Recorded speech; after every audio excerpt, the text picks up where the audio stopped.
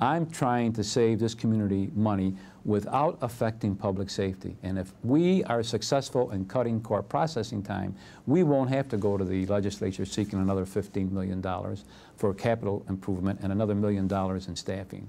Uh, we will have been successful with uh, cutting court processing time, not affecting public safety one iota because whether uh, he's in the jail 30 days before he's sentenced to another facility or whether he's given probation it's a judiciary matter, not mine. And nothing there will change.